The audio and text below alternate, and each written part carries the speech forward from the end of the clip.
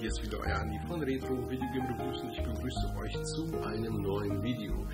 Ich habe mal wieder richtig Bock auf eine äh, Top 10, auf eine Top-Liste und es ist eine Top-Liste, die ich schon wirklich lange machen möchte. Ich weiß gar nicht, wie lange diese Notiz hier für die Top-Liste bei mir schon auf dem Schreibtisch liegt. Das ist bestimmt schon mindestens ein halbes Jahr. Aber ich bin irgendwie nie dazu gekommen, diese Top-Liste zu machen. Dann war sie wieder aus meinen Gedanken gelöscht und dann habe ich sie wieder gesehen und dann habe ich mir gesagt, jetzt musste mal und dann kam mir wieder was dazwischen und so weiter und so fort. Jetzt habe ich mal gedacht, ich mache das jetzt mal endlich, denn es ist eine sehr persönliche Top-Liste. Ich glaube, das Thema ist ganz, ganz cool und äh, ihr seht es ja auch schon an, an der Überschrift. Das werden meine Top 10 der schönsten Videospielmomente in meinem Leben. Videospielerinnerungen kann man ja so sagen. Alles Positive, was, was mir halt einfällt, wenn ich mich einfach mal so zurückerinnere auf die ganzen Jahre und Jahrzehnte, kann man ja schon sagen, die ich mit Videospielen zugebracht habe. Und als ich mich so zurückerinnert habe und mal überlegt habe, was waren denn so meine schönsten Videospielerinnerungen, das sind schon ganz, ganz viele. Also wirklich viele. Ich könnte hier eine Top 80 machen, Top 100. Ich habe mich aber auf die Top 10 beschränkt. Das ist ganz interessant, weil wenn man so viel Auswahl hat und man muss sich aber nur auf 10 Punkte fixieren, dann fängt man an zu grübeln. Dann fängt man an zu überlegen und zu sagen, was war denn so, was so richtig geil war für mich. Das ist so von der Schwierigkeit her so ähnlich wie mein Top 10 SNES RPGs Video. Da habe ich ja mich auch super schwer mitgetan, bis ich endlich mal meine Platzierungen hatte.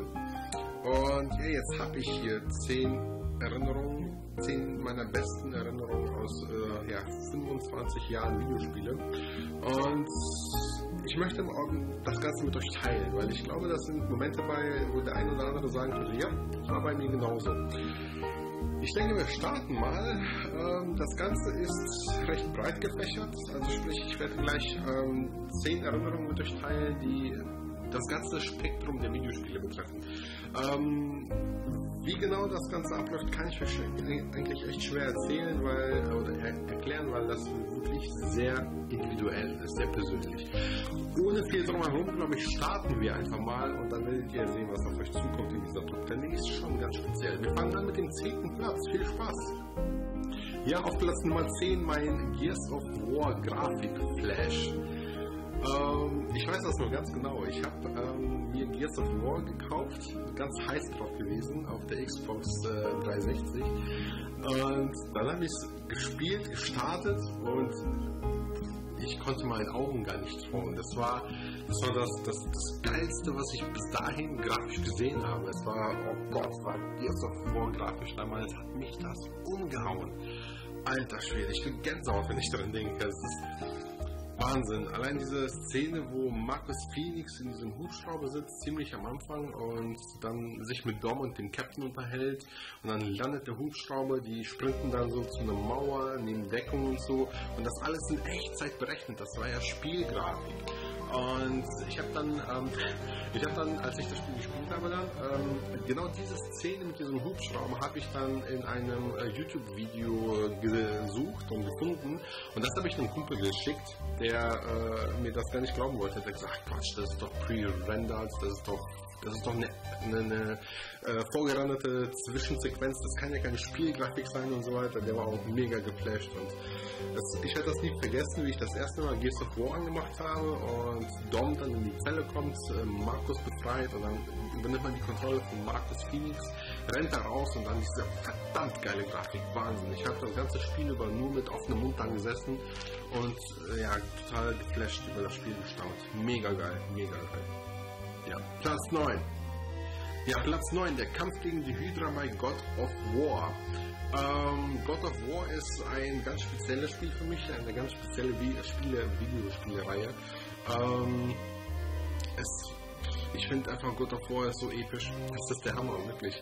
Ich hätte ziemlich viele andere Bossgegner von God of War nehmen können. Ich habe aber die Hydra gewählt, weil äh, die mich so unfassbar beeindruckt hat. Einfach diese, diese Größe des Kampfes. Bisher hat man, oder habe ich halt äh, Endbosse gesehen, die waren entweder gleich groß und so auf Augenhöhe oder die waren unglaublich riesig äh, und man war so klein und äh, das war aber so eher bei JRPGs. Ähm, aber God of War war eine ganz andere, war eine ganz andere Geschichte. Das war so, das war so, weiß ich nicht, so, so, so echt und so episch und so, wow, mega geil. Ich weiß noch genau, wie ein Kumpel und ich äh, das Spiel gespielt haben auf der PlayStation 2. Ich habe mir das damals gekauft und ein damaliger Kumpel, mit dem ich leider gar keinen Kontakt mehr habe, äh, irgendwie aus den Augen verloren. Und ja, wir waren halt beide ziemlich heiß auf das Spiel und als ich das in den Händen halt hatte, habe ich das nicht selber gespielt. Nein, ich habe sofort angerufen, habe gefragt, ob er zu Hause ist. Dann bin ich zu ihm hingesprintet und dann haben wir wirklich abends angefangen und haben in einem Stück das Spiel durchgespielt. Und als wir dann die Hydra ge, äh, gegen die Hydra gekämpft haben, aber ich weiß gar nicht, wer von uns gespielt hat. Da war jetzt auf jeden Fall, saßen wir dann wirklich total gebannt, vor dem Fernseher, haben gegen die Hydra gekämpft und als der Kampf dann vorbei war, haben wir erstmal das Pad so weggelegt und haben erstmal durchgeatmet. So intensiv war einfach der Kampf. So geil inszeniert war er, wo man die Köpfe der Hydra so aufspießt. Mega geil, echt. Werde ich niemals vergessen. Das ist so der, der epischste Bosskampf, den ich jemals gesehen habe von God of War. Geil. Platz 8. Platz Nummer 8, das Sanity Meter von Eternal Darkness und hier speziell der Moment, wo äh, plötzlich die Lautstärke so zu Neige geht und das Spiel stumm wird. Ich, das war damals so, pass mal auf. Ähm, ich habe Eternal Darkness damals mit einem Kumpel zusammengezockt. Das sind viele Spiele, die ich mit einem Kumpel gezockt habe damals, echt. Und ähm, ich habe ich hab gespielt ich habe also ich habe gespielt, er saß daneben, wir haben uns immer so abgewechselt und dann war ich an, an der Reihe. Und bei Eternal Darkness, das Sanity Meter kennt ihr ja wahrscheinlich. Ne? Das ist, wenn das zu Neige geht, dann wird euer Spieler verrückt, euer Charakter. Äh, dann passieren voll die krassen Situationen. Man geht in den Raum und man denkt sich nicht, auf einmal platzt der Kopf des Charakters oder so. Oder steht auf einmal alles äh, auf dem Kopf oder die Wände fangen an zu bluten oder so. Me mega geil. Jedenfalls äh, habe ich dann gespielt und äh, laufe ganz normal durch den Raum, da ist kein Gegner, gar nichts. Und dann sehe ich halt, wie so Lautstärke-Regler des Fernsehers erscheint und immer so weiter zurückgeht und das Spiel plötzlich ganz leise wird. Und ich äh, fahre meinen Kumpel an, was machst du? Nimm die Fernbedienung und mach die Lautstärke wieder an. Und er sagt dann nur so, das war ich nicht. Und dann haben wir gesehen, die Fernbedienung liegt neben uns, das hat, die hat keiner von uns berührt. Und es war so ein Gänsehautmoment, wo wir jetzt gedacht haben, was zum Teufel ist hier gerade passiert. Wir waren so geflasht davon, weil einfach die ganze Situation, mein Fernseher damals, hatte genau dieselbe Lautstärkenanzeige wie in dem Spiel. Und ähm, wir waren einfach so perplex. Wir haben nur gedacht, was zum Teufel ist gerade hier passiert? War das jetzt tatsächlich so oder spendisch? Mann, war das geil. Werde ich niemals vergessen. Äh, ich habe dann auf einmal den, den, Controller so abgegeben und dann hat mein Kumpel weitergemacht. Ich musste erstmal äh, echt, echt durchatmen. Das Spiel hat uns damals so fertig gemacht. Das ist so ein geiles Spiel. Mann, Mann, Mann. Der Volume-Regler von Eternal Darkness. Geil. So, fangen wir, oder machen wir weiter mit Platz 7. Ja, Platz Nummer 7 ist Turok 2 auf dem ähm, Nintendo 64. Das ganze Spiel eigentlich. Ich habe da jetzt nicht so den Moment, der mir in, in, Erinnerung geblieben ist, sondern mir ist das ganze Spiel in Erinnerung geblieben. Und zwar aus dem folgenden Grund. Turok 2 war das erste Spiel, was ich gespielt habe, was diese Gore-Momente hatte. Also es war ja schon ziemlich blutig. Ich bin nämlich, ähm, ich habe Turok 1 natürlich davor gespielt die deutsche Fassung mit den Robotern. Ähm, ja gut, die war halt okay. Es war jetzt nichts Blutiges dran, die wurde ja zensiert in Deutschland. Und ähm, als dann Turok 2 angekündigt wurde, war ich natürlich super heiß drauf. Und ja, gekauft habe ich mir aber Turok 2 auf dem Trödelmarkt. Oder ertauscht, ich weiß gar nicht mehr. Auf jeden Fall hatte ich das Spiel vom Flohmarkt. Was ich aber nicht gemerkt hatte damals, das war die Tatsache, dass Turok 2 die Uncut-Fassung war. Also nicht die deutsche, sondern die UK. Und ich habe das Spiel angemacht und habe mich schon gewundert. Oh, englische Sprachausgabe, das ist doof. Denn damals, wie alt war ich denn da? Wann ist das Spiel erschienen? 98? Da war ich 12. und äh, ich dachte mir, scheiße, auf Englisch. Ich kann noch nicht so gut Englisch. Und äh, deshalb habe ich von der Story anfangs nichts kapiert. Habe das Spiel angefangen zu zocken und auf einmal habe ich nur gedacht, was zum Teufel ist das denn? Auf einmal schieße ich so einen Dinosaurier den ganzen Körper weg. äh, voll über Blut und der Körper fliegt weg und ich denke, was ist das? Total geschockt und ähm, ja, das war ja das wird ja immer schlimmer. Das Gehirnbohrer und Raketenwerfer, der die Gegner voll zerfetzt hat und der Packbogen, wo man dann so Headshots verteilen konnte. Ah, war das geil. Ähm, das war so tatsächlich mein erstes ungeschnittenes Spiel, mein erstes erwachsenes Spiel quasi. Oh Mann, habe ich das gesucht. Das war schon geil. Turok 2. Und seitdem Seit Turok 2 lege ich extrem viel Wert, dass ich, wenn ich äh, mir Spiele kaufe, dass ich die Uncut bekomme, weil das für mich so mit dazugehört irgendwie. Es hat ja einen Grund, wieso die Entwickler dann da Gewalt integriert haben. Das muss ja dann da rein irgendwie.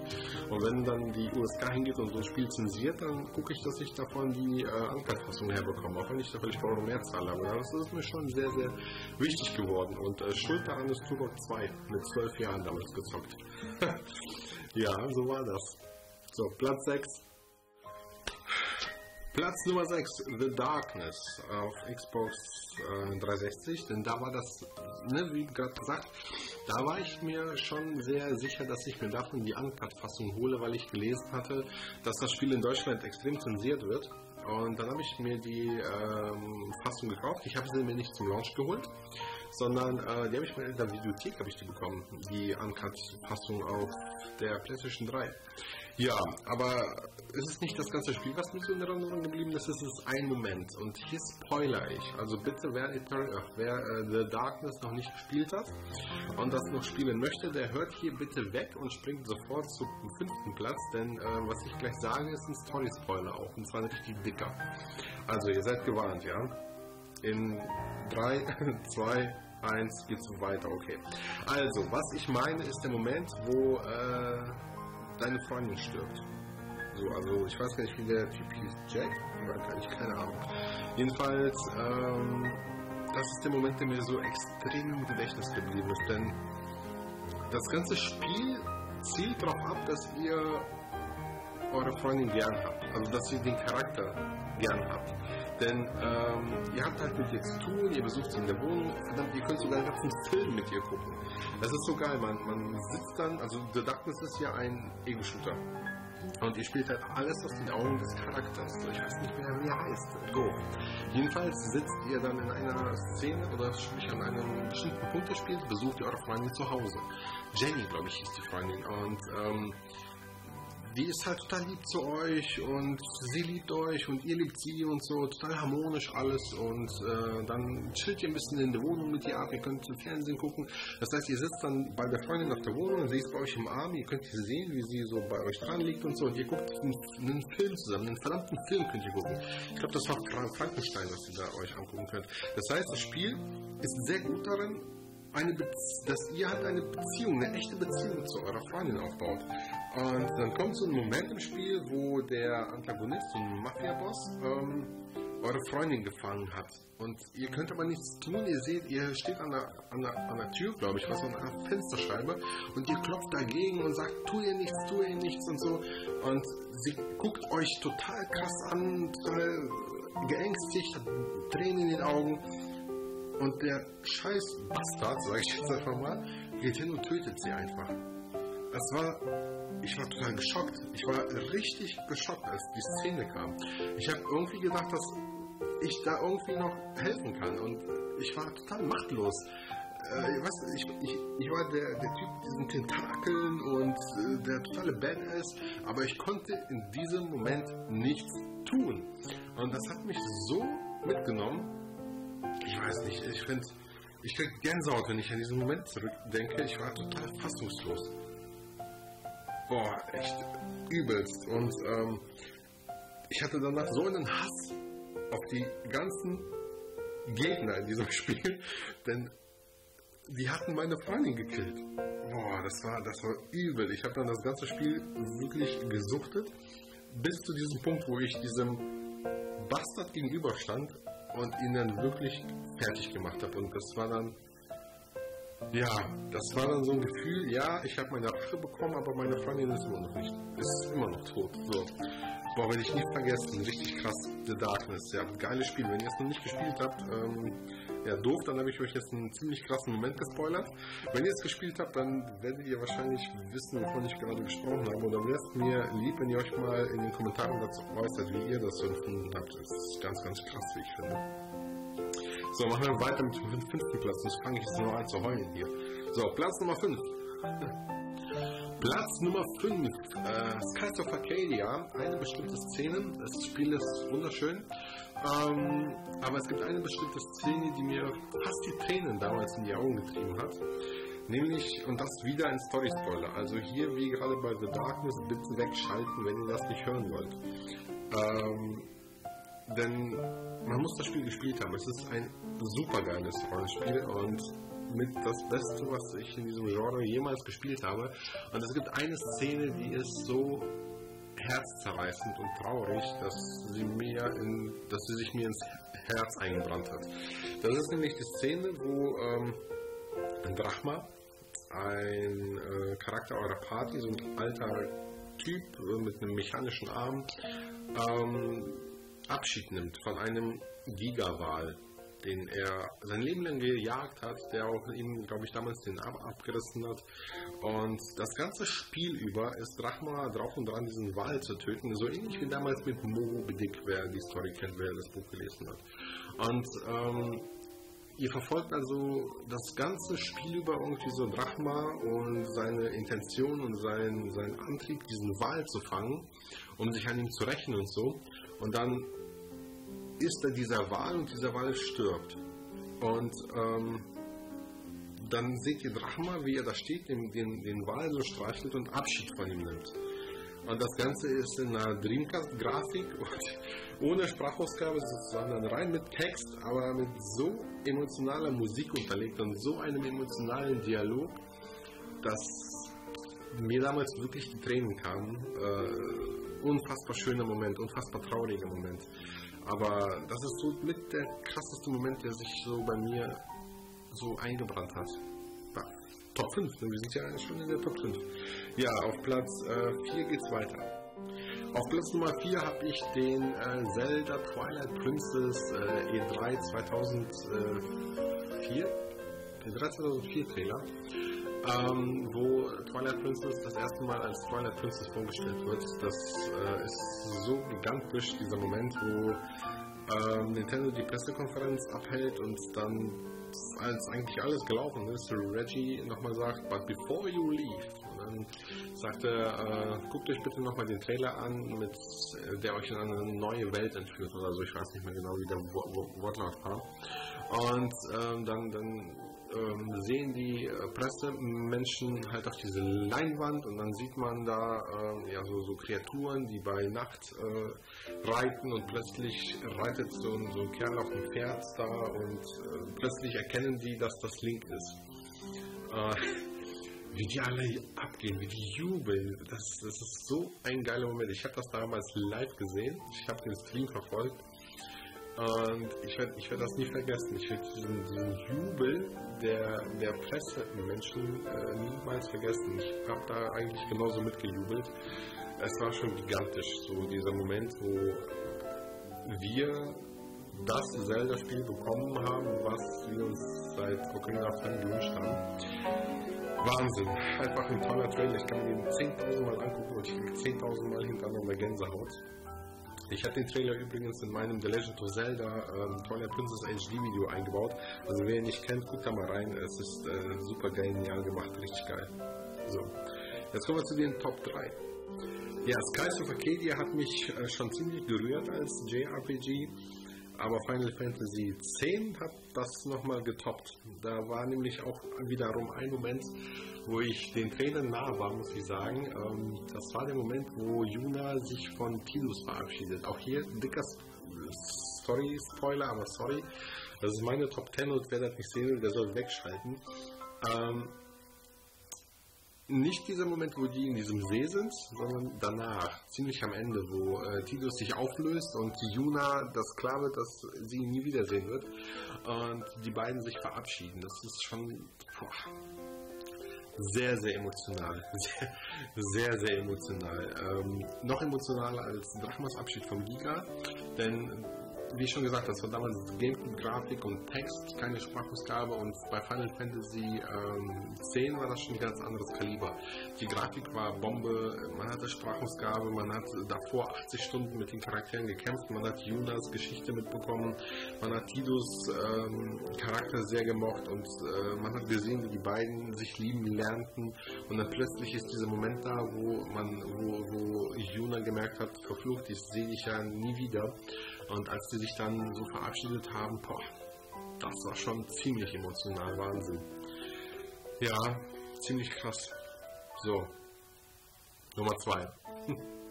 Auf Platz Nummer 2, wieder wie bei Turok 2, ein ganzes Spiel, was mir super im Gedächtnis bleiben wird, mein Leben lang, nämlich Aladdin. Disney's Aladdin auf dem Super Nintendo. Nicht nur, dass Disney's Aladdin mein erstes äh, Spiel überhaupt war, was ich jemals selbst besaß und gespielt habe. Nein, Aladdin war auch das erste und letzte Spiel, was ich damals mit meinem Vater durchgespielt habe. Und das bedeutet mir heute sehr, sehr viel. Ähm, meine Eltern haben mir damals den Super Nintendo zum Geburtstag geschenkt, da wurde ich sieben. Und äh, man bedenkt, ich bin jetzt 30, das war so vor 23 Jahren. Äh, ich erinnere mich wie heute, als, als es gestern gewesen äh, war, daran. Ähm, ich habe mir den Super Nintendo mit Aladdin gekauft. Ich war damals oder bin heute noch riesen Disney-Fan und deshalb war für mich klar, es musste Aladdin sein. Und wir haben damals in einer ja, sehr kleinen Wohnung gewohnt. Wir sind damals halt ähm, ein gutes halbes Jahr davor sind wir erst nach Deutschland gekommen und haben zuerst in einer Notwohnung gehaust mit, mit anderen äh, Familien.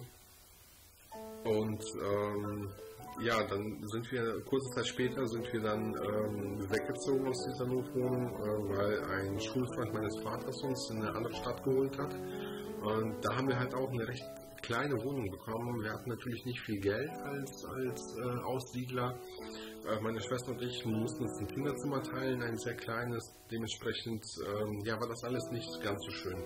Und dann wurde ich halt sieben und mein, mein Cousin hatte einen Super Nintendo. Den habe ich bei ihm mal wieder gesehen. Ich, konnte, ich durfte nichts spielen bei ihm. Ich habe immer nur zugeguckt und äh, es hat mich damals schon ziemlich geflasht. Und ich wollte halt auch einen Super Nintendo haben. Und dann wurde ich, wie gesagt, sieben. Meine Eltern haben mir meinen Wunsch erfüllt und haben mir auch eine Konsole gekauft. Und ähm, die wurde dann im Wohnzimmer angeschlossen. Wir hatten im Wohnzimmer einen äh, Röhrenfernseher, der war, der war so. Und ähm, ja, dann stand da mein Super Nintendo im Wohnzimmer. Und es gibt noch Fotos. Meine Eltern haben noch Fotos, wo ich äh, stehend ja davor stehe quasi und äh, Spiele spiele, weil A natürlich der Super Nintendo der Controller Kabel gebunden war, B das Sofa so weit weg stand vom Fernseher, dass das Kabel nicht gereicht hat. Und dann stand ich mit meinen sieben Jahren so zwei Meter vor diesem oder ein Meter vor diesem kleinen Fernseher und ähm, habe gespielt. Und ähm, Aladdin, Disney Aladdin ähm, war das einzige und das erste, das einzige Spiel, was mein Vater mit mir durchgespielt hat. Und es war sogar noch ein Spiel, was mein Vater vor mir durchgespielt hat.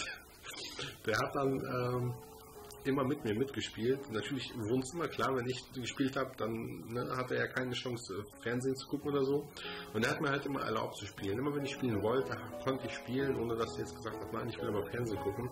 Das rechne ich ihm schon hoch an. Und ähm, es gibt auch Fotos, wo ähm, ich dann da, da, stehe vor dieser Konsole, mein Vater daneben sich in der Hocke befindet, also er hockt da und spielt quasi das, das Spiel mit mir. Ich weiß nicht, wieso wir nicht auf die Idee gekommen sind, uns da Stühle hinzustellen, keine Ahnung.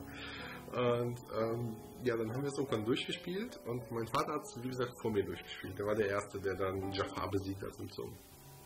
Und ähm, da erzählt er heute noch drüber.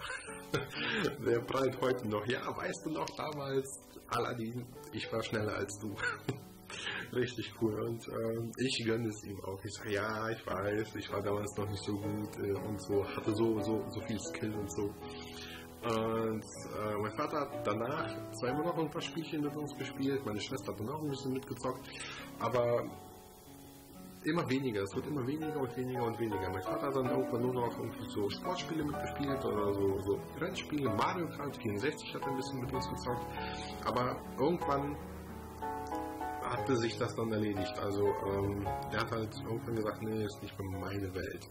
Und Aladdin, das will ich halt nie vergessen. Das war so ein emotionaler Moment für mich. Das war einfach, wir hatten nicht viel. Wir hatten echt nicht viel. Wir kamen halt ähm, aus einem Land, was gerade zerbrach. Ne? Sowjetunion war irgendwann Geschichte. Und ähm, ja, wir hatten eine Wohnung, ich hatte ein Bett, ein paar Spielzeuge und dann halt der Super Nintendo, das war für mich einfach damals so einfach was, was, was unglaublich Schönes, einfach etwas, was ähm, ja, ich weiß nicht, wie ich das formulieren soll. Auf jeden Fall war Aladdin einfach mit das Tollste, was ich damals bekam und es war einfach verantwortlich für ganz, ganz viele schöne Stunden mit meinem Vater auch zusammen bei diesem äh, kleinen Fernseher. Äh, das sind so Momente, die einen auch prägen und äh, ich, ich, ich werde das nie vergessen. Es war wunderschön. So. Ja, was kann das noch toppen? Was ist mein Platz 1 der schönsten Videospielerinnerung? Das seht ihr jetzt. Ja, Platz Nummer 1, äh, Mario 64. Und zwar äh, dieses Gefühl, das erste Mal stufenlos zu laufen. Das war unbeschreiblich, werde ich niemals vergessen. Dieses Gefühl, dieses Gefühl werde ich niemals vergessen. Dieses Gefühl der Freiheit, der Möglichkeiten. Das ist etwas, was die heutigen Generationen niemals erleben werden. Es ist einfach dieser Übergang zwischen 2 und 3D, der einfach so unfassbar geil war, dass das, das ist für mich der Moment, der Moment meines ganzen Videospiellebens quasi, wo Mario aus dieser Röhre springt und man dann mit diesem Analogstick des N64-Controllers Mario stufenlos steuern kann. Man kann bestimmen, ob er einfach nur geht oder ein bisschen läuft oder rennt und das stufenlos. Bisher, also ich persönlich kannte es bisher halt nur von links nach rechts oder von unten nach oben oder diagonal. Aber alles halt mit dem Steuerkreuz, ne, vom Super Nintendo halt. Und ähm, dann kam Mario 64 und einfach diese ersten Meter, diese ersten Meter vor dem Schloss, das war episch. Unbezahlbar quasi. Unbezahlbar. Einfach dieses, die, das, das Gefühl, einfach auf den Baum zu, zu, zu klettern mit dem Klempner. Oder einfach im Schlossgraben zu, zu schwimmen und dann einfach rauszuschwimmen und dann wieder weiterzulaufen. Und das einfach mit diesem genialen Analogstick, diese, diese ersten Meter im 3D-Raum. Das war das ist das beste Gefühl, was ich, die beste Erinnerung, die ich jemals an ein Videospiel hatte. Und das wird, glaube ich, so bleiben. Diesen Moment, der ist, der ist so unbeschreiblich. Ich glaube, ich glaube, dass das ist quasi Geschichte. Das ist Videospielgeschichte. Und wir, also ihr, die genauso alt seid wie ich, oder halt äh, einfach diesen Moment mitbekamen damals, ich glaube, wir werden das niemals vergessen es ist halt einfach nicht wie heute. Heute hat man ja nur noch solche 3D-Spiele mit perfekter Steuerung und allem. Ähm, aber einfach dieses Gefühl, etwas vollkommen Neues, vollkommen Neues zu erleben, das, das wird es nie mehr, nie mehr geben. Ähm, in der Art jetzt. Ähm, deshalb bin ich so froh, dass ich ein Kind der 90er bin, dass, dass ich all diese Momente leben durfte und speichern durfte. Speichern. Äh, einfach nur wahnsinnig schön. Ja, das war sie. Das war meine Top 10 der schönsten Videospielerinnerungen. Eine Top 10, die ich schon lange machen wollte und jetzt habe ich sie endlich gemacht und ähm, es war schön, mir hat Spaß gemacht. Es war schön, diese, diese Top 10 zu machen, jetzt gerade zu drehen. Es war ein tolles Gefühl, diese ganzen Erinnerungen wieder auf, leben zu lassen. Es gibt noch so viele andere Erinnerungen, die es bei mir jetzt nicht in die Top 10 geschafft haben, aber die auch so schön sind. Das erste Mal den Donkey Kong Soundtrack hören, dieses geile Lied am ersten, des ersten Levels. Hammergeil. Das erste Mal Secret of Mana spielen mit drei Freunden gleichzeitig auf dem Super Nintendo. Mega geil. Das sind so diese Momente, die einfach un unbeschreiblich sind, die, die uns formen. Ich bin fest davon überzeugt, dass, dass diese Momente auch irgendwo ein Stück weit dazu beitragen, wer wir heute sind. Ich weiß nicht, bin ich fest davon überzeugt. Ja. Was sind eure schönsten Videospielmomente? Erzählt es mir in den Kommentaren. Und dann finden wir uns vielleicht wieder in dem einen oder anderen Moment. Ich denke mal, dass Mario 64 so die ersten Schritte in 3D ich nicht der Einzige bin, der das so erlebt hat. Deshalb würde ich mich freuen, wenn Gleichgesinnte ähm, mal ihre Erfahrungen, Erinnerungen mit mir teilen würden. Ansonsten war, denke ich mal, die Top-Liste sehr individuell. Aber ich finde es schön. Ich finde, diese Top-Listen sollten ein bisschen individueller sein. Denn nur so machen sie Spaß. Ja? So, ich klinke mich jetzt aber mal aus und gehe ein bisschen Mario Kart 60 spielen. ich wünsche euch was. Wenn ihr mich unterstützen wollt und mehr von mir sehen wollt, guckt in die Endkarte oder in die Videospielbeschreibung und äh, diskutiert mal mit in den Kommentaren. Und dann sehen wir mal, was eure lieblingsschönsten Videospielerinnerungen sind. Ich bin gespannt drauf. Ich für meinen Teil bin jetzt aber erstmal weg. Wünsche euch wie immer viel Spaß beim Zocken. Adios und bye bye.